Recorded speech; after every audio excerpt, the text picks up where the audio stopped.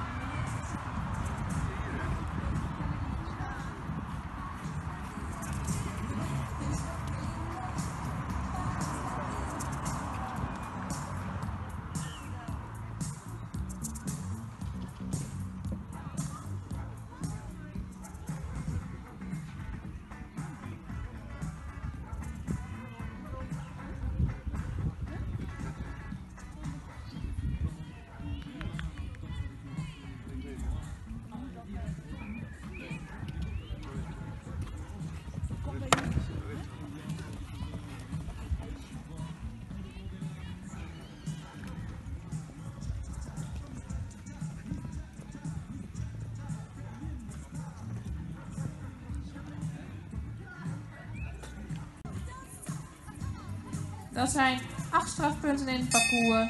Voor de wijze van rijden een 7, houdingen zit een 7, algemene verzorging een 7,5. Maakt een totaal van 70,5 punten.